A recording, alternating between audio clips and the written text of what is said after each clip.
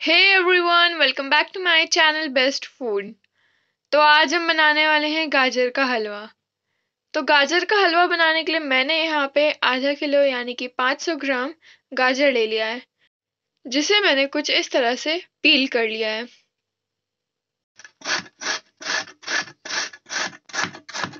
तो अब मैंने सारे गाजरों को कुछ इस तरह से कद्दूकस कर लिया है। आपको इससे कद्दूकस करना है, वो बड़े वाले साइड से, जैसे कि आप देख सकते हैं। आपको ये छोटे वाले साइड से नहीं करना है। तो मैंने सारे गाजरों को कुछ इस तरह से कर लिया है। अब हम लोग चलते हैं नेक्स्ट प्रोसेस पर। तो अब मैं इसे पाँच मिनट के लिए हाई फ्लेम पे पकाऊँगी, ताकि गाजर अच्छे से गल जाए। फिर उसके बाद हम इसे लो फ्लेम पे पकाएँगे। तो अब मैंने इसमें आधा लीटर दूध ऐड कर दिया है।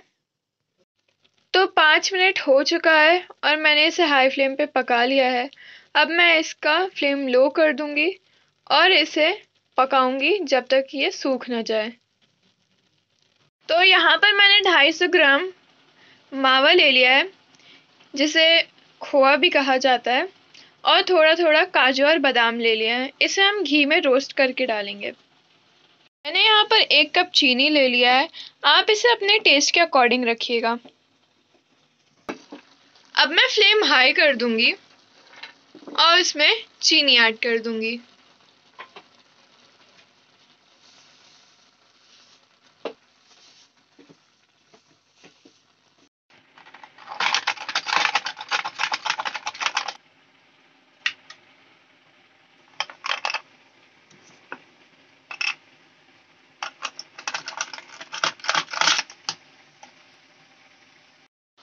अब ये सूख चुका है और अब हम इसमें घी ऐड करेंगे।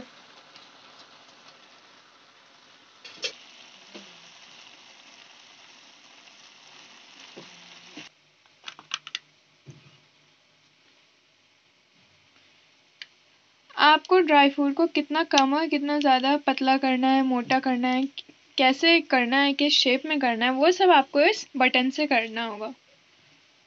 आप उस स्विच से इसे कंट्रोल कर सकते हैं। चुका है अब हम इसमें थोड़ा थोड़ा करके ड्राई फ्रूट डालेंगे और फिर उसके बाद थोड़ा और इसे भूनेंगे। और थोड़ा सा इलायची पाउडर मैं इसमें ऐड कर रही हूँ।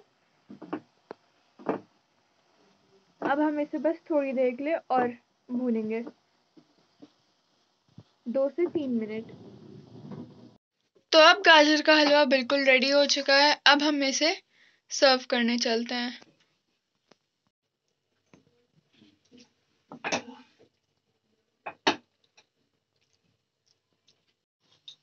अब मैं इसे ड्राई फ्रूट के थ्रू ऐसे डेकोरेट कर रही हूँ।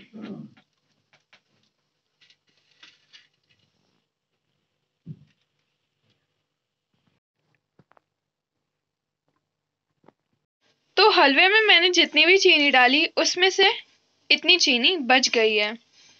और मैंने हलवे में एक चम्मच भरकर देसी घी ऐड किया था। तो शादियों वाला गाजर का हलवा बिल्कुल रेडी हो चुका है, जैसा कि इसे मैंने डेकोरेट कर दिया है और ये बिल्कुल अच्छी तरह से रेडी हो चुका है। और ये खाने में भी बहुत अच्छा लग रहा है। आप भी इसे बनाइए, खाइए और अपनी फैमिली के साथ एंजॉय कीजिए। And if you like this video do like share subscribe my channel and click the bell icon also thank you for watching my video